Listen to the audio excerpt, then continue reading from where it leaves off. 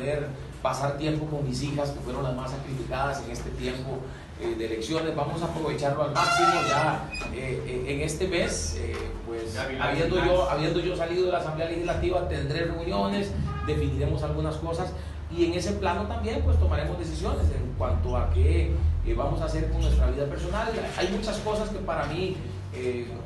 o muchas cosas que yo he hecho en mi vida que me gusta hacer, me gusta la comunicación, me gusta la televisión, me gusta la música, me gusta hacer lo que hago en el plano de la iglesia. Y entonces eh, todas esas cosas son parte de la posibilidad y de la decisión que tomaremos como familia. Lo que sí es un hecho es que yo estoy dispuesto a continuar en efecto apoyando a los compañeros, apoyando al Partido Restauración Nacional, un partido con el que me siento plenamente identificado, que me abrió sus puertas hace cuatro años y que me hace sentirme también agradecidísimo con ellos y que por lo tanto siento la responsabilidad al haber sido el líder en este proceso electoral y el líder del,